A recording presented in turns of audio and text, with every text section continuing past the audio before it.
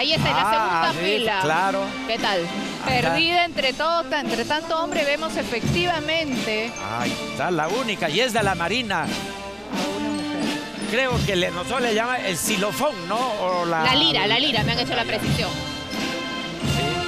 Yo le voy a creer al tuitero que me escribió porque la verdad, de acá de esta vista nosotros no vemos el instrumento. Ah, y en la red te han dicho que sí Me hay una dicho. mujer. Ah, mira. Están atentos, están atentos. Dale. Invítalo para el próximo desfile que venga acá a comentar. Muy bien. Este, Y escuchó Jorge Rojas entonces, invitado. Este es la delegación de las Naciones Unidas. Nosotros tenemos representación en el África, representación en Haití de las Naciones Unidas.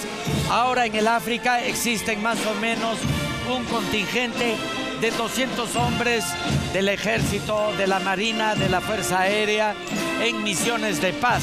Así es, efectivamente, recordemos el regreso de los cascos azules. En 1988, Javier Pérez de Cuellar, cuando era secretario general de la ONU, se hicieron acreedores al Premio Nobel de la Paz, gracias a su labor pacífica, porque han participado en numerosos conflictos. Esto general desde 1956. Así es, miren, si podemos apreciar, hay gente de mucha edad, ya que peinan canas. Esto es un contingente que ha estado el Batallón Perú Ajá. en la guerra eh, Del Sinaí. Del Sinaí. Del Sinaí, la guerra del Medio Oriente. Y te- Ellos, ah, tenemos muertos ahí. Así es. Porque era un campo minado. Muchos soldados peruanos han muerto del Batallón Perú en el Sinaí. Ellos Y este estuvieron allá, de esos señores que vemos Sí. acá peinando canas, estuvieron allá en 1975, de donde trajeron una experiencia inolvidable. Estuvieron, si no me equivoco, alrededor de dos años. Bueno, obviamente eran cambiados, pero durante dos años, de 1975, en esa zona del Medio Oriente estuvieron Veíamos ellos a... peleando. Claro, están haciendo el desfile. ya. Entendemos que terminaron entonces las delegaciones extranjeras. Sí, ya terminó la lega extranjera. Ahora, acá hay un contingente de ingeniería en el África que han llevado tractores eh, para el apoyo a África, tractores del equipo de ingeniería, maquinaria pesada. Vamos a hablar con el presidente para que pueda eh, llevarse o traerse parte de eso porque necesitamos acá en los asentamientos humanos. Eh, Ahí eh, parece, seguimos con los cascos A propósito. Ana María Betesú, que está en la tribuna de honor, que tiene más cerca la banda, menciona que son dos mujeres del ejército y una de la marina las que componen la gran banda. Esto empezamos, discúlpeme la, vanidad, cuando estuve de comandante general por primera vez empezó a cantar y a la, la cara eh, eh, girar a la derecha con la tribuna de honor como lo están haciendo ahora el batallón del contingente de las Naciones Unidas de los Cuerpos de Paz. Por cada tractor, por cada vehículo que nosotros enviamos Naciones Unidas hace un pago. Viene el Cuerpo General de Bomberos en estos momentos. Bueno, y terminando con lo de los cascos azules, hay que contarles todos, bueno, que ellos son, están encargados de monitorear, de observar los procesos de paz, y dar asistencia a los excombatientes en la implementación de tratados con fines pacíficos. Y actúan directamente bajo el Consejo de Seguridad de la ONU. Forman parte, miembros de las Fuerzas Armadas y policiales de todos los países miembros integrantes de Acá vamos a invitar a nuestro comandante de los bomberos. ¿Qué tal? Adelante, adelante. A ver tus comentarios.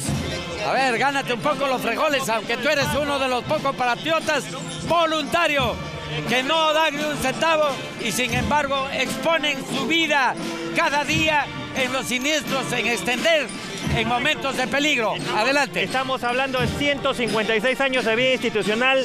Este año tres compañías se han sumado a las sesquicentenarias centenarias con más de 150 años. Lo que estamos viendo es la división de Gallarrete y Estandarte y unidades de Estado Mayor. También podemos ver en la parte media hacia atrás las compañías con los uniformes históricos. De izquierda a derecha tenemos a la compañía Lima, la France, la Italia y la Unión Chalaca. Y la señor, las damas que Estamos están con el comandante Giancarlo Pasalacqua, comandante de los bomberos que nos acompaña hoy acá en el desfile, aquí en Latina, para hablar de lo que viene sucediendo en estos momentos con la- el Cuerpo General de Bomberos Voluntarios del Perú. Y te preguntaba sobre las damas que están de negro. Las damas son oficiales y subalternos de nuestra institución que ya desde hace varios años, más de 25, prestan servicio activo. Con ese uniforme Ese es su uniforme de parada. Eh, cuando están de servicio tienen un uniforme idéntico al de nosotros Ya. y el de combate de incendios y sin rescate. discriminación. Todos por Absolutamente. igual. Y entran a los incendios tal como nosotros, descienden acantilados, hacen todo tipo de rescates. No, sin duda los hemos visto y quiero decir ya como civil que nosotros estamos siempre tan, eh, digamos, respetuosos, admirados con la labor que hacen los bomberos, muchas veces sin condiciones, de repente no hay los medios, no hay el dinero para reequiparse Eh, debidamente. siempre la media ha sido estar eh, un poco por detrás de los niveles de equipamiento. Felizmente en los últimos años hemos recibido un buen Ah, empuje con Ah, una buena cantidad de autobombas nuevas, ambulancias, uniformes y equipos que seguimos necesitando y bastante. Eh, eh. A ver, pueblo peruano, voy a hacer una... Y lo que estamos viendo ahí es nuestro bosque de banderas, seguido de los batallones que conforman las unidades activas. Acá Como decíamos, estamos hablando de 156 años de vida institucional.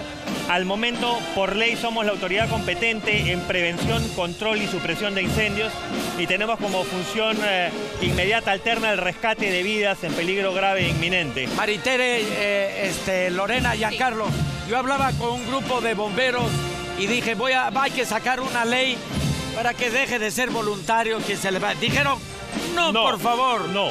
No, por favor. Si no, No. nos va a quitar la mística. favor, no. Nos va a quitar la mística, Lo nos va a quitar ese si quieren, servicio si quieren voluntario. invertir en los bomberos, inviertan en equipo.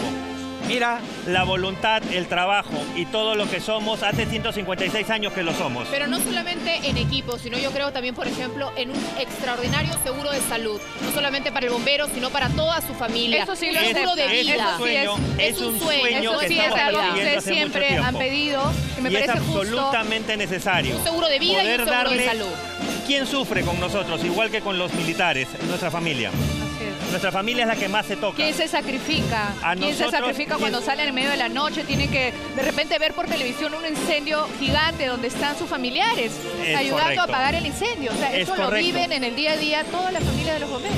ese Ese- voluntariado esa- vamos lo- a los, verdaderos, los verdaderos héroes son nuestros familiares. Es. Nosotros Ah. vamos con amor a hacer lo que estamos haciendo. Nos gusta.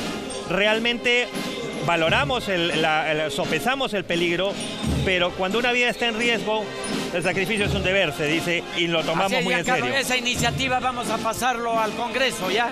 Que todo sea voluntario también. Giancarlo, Ya. felicitaciones. No, no, Recibe como más. siempre nuestra admiración. Yo creo que, que- que en mis palabras estoy recogiendo la, la- la admiración de todos los peruanos, el agradecimiento profundo. Además, porque sé de señoras mayores que los llaman cuando se sienten mal. eh, Así es. por En diferentes estos razones. momentos estamos viendo. Muy bien, muchísimas Muchísimas gracias, gracias a Giancarlo. ustedes. Gracias. Gracias.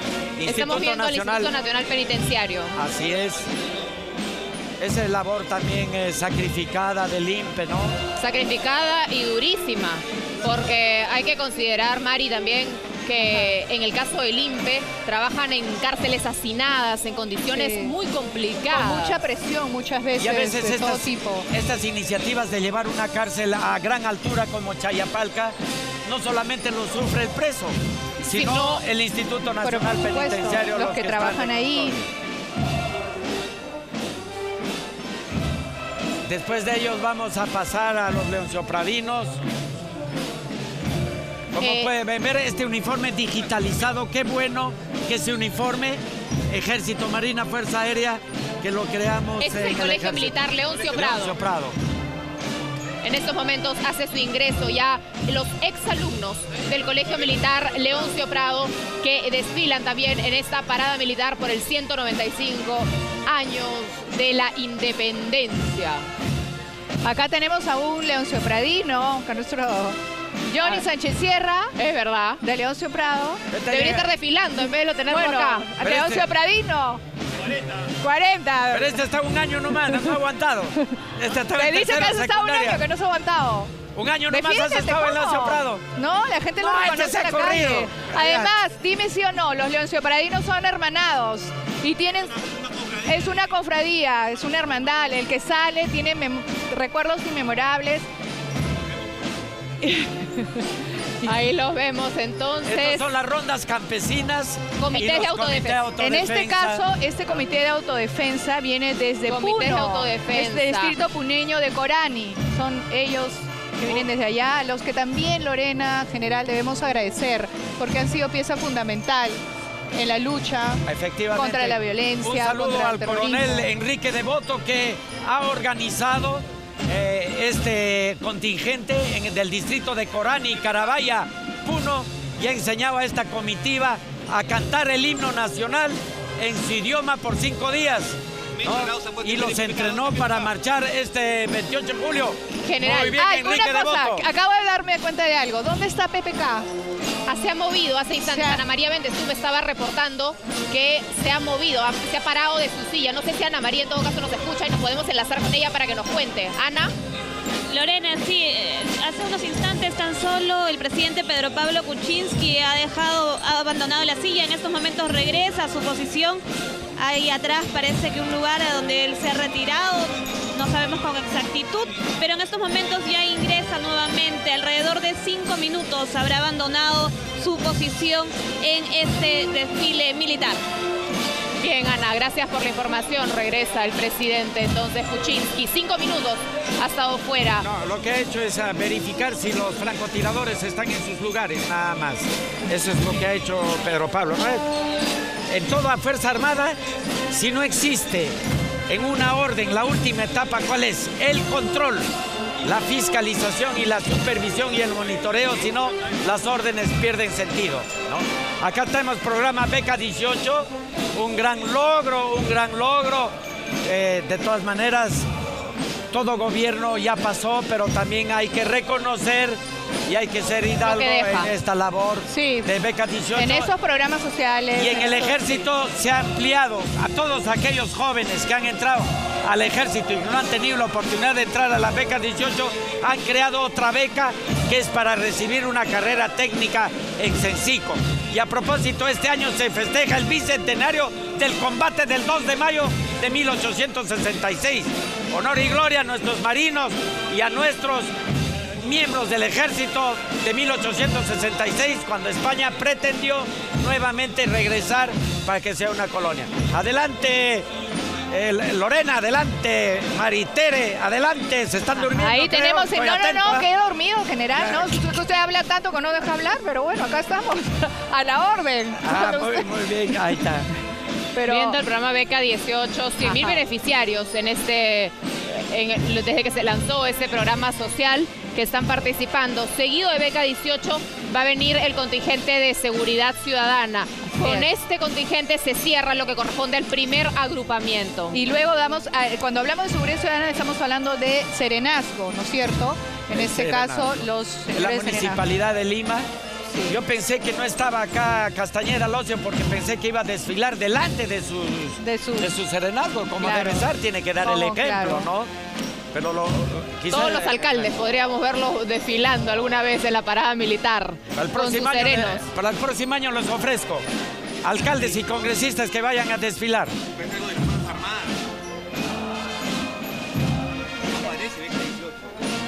La beca. Ese es el beca, beca 18 continúa. O beca 18.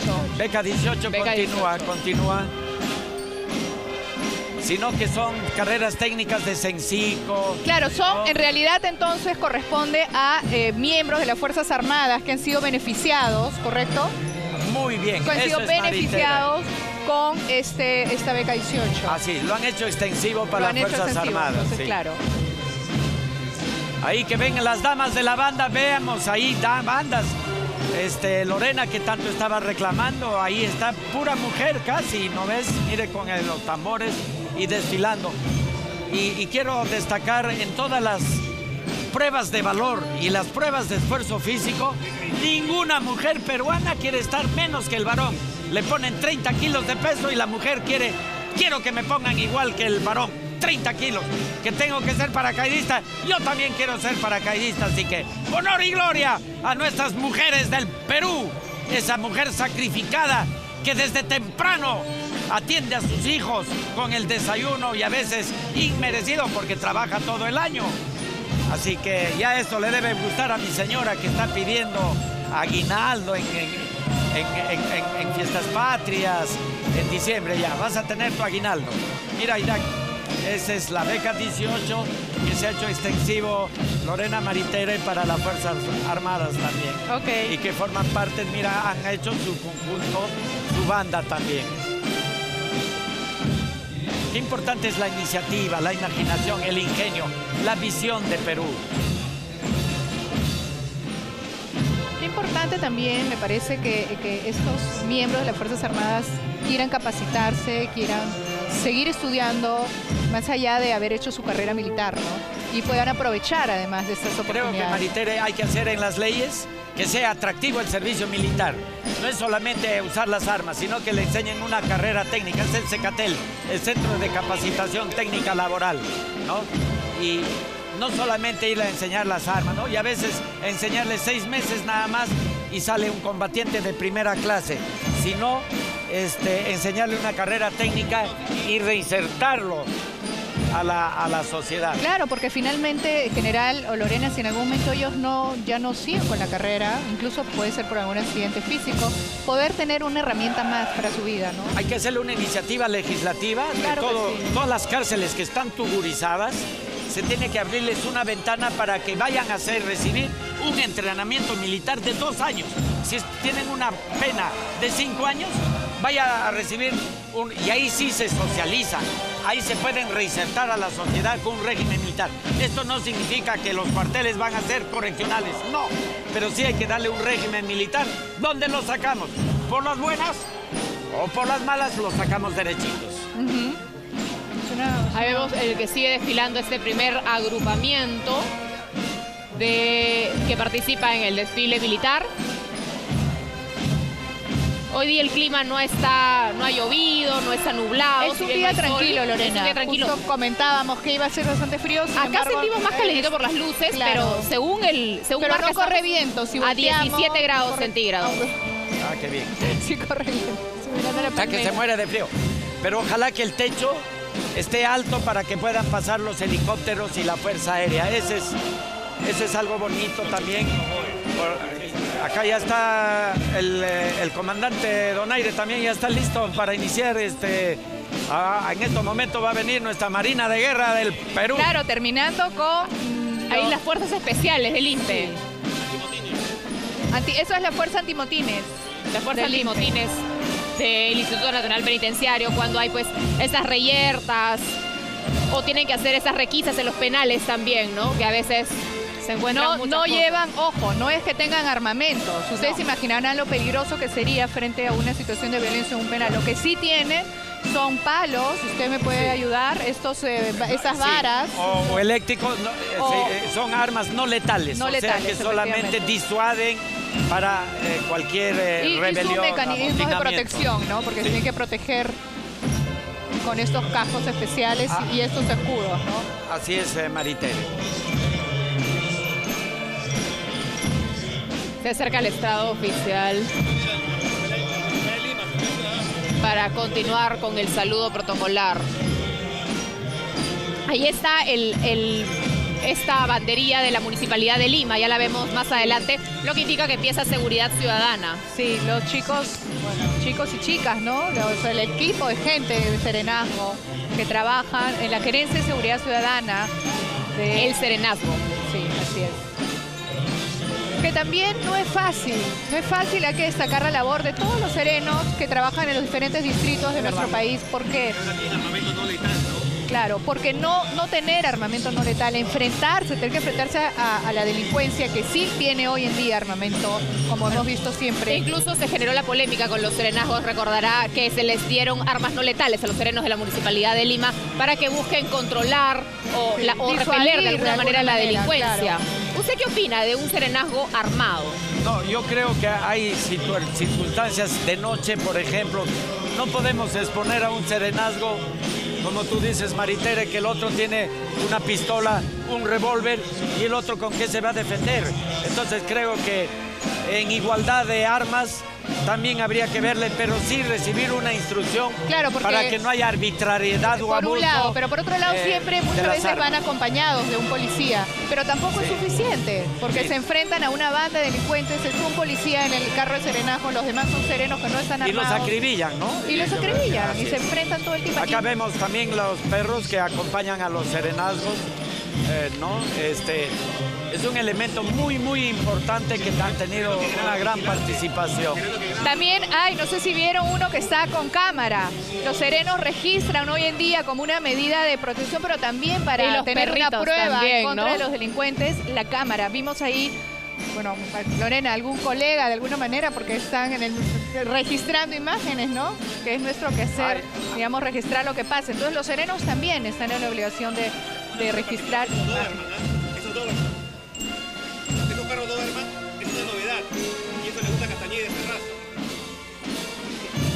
Acá Johnny Sánchez Sierra nos dice, dice que esos perros son del Canal 2, no sea, de no sea mentiroso. Oye, no, oye, Bueno, no te pero- pe, Johnny. Pero sí es Ya una también- novedad que ya hayan salido bueno a que- desfilar los perros de serenazgo. Yo nunca había visto antes eso. Siempre salen los, digamos, la policía canina. Sino que él, como estaba en Leoncio Prado, en tercer año canino ha sido.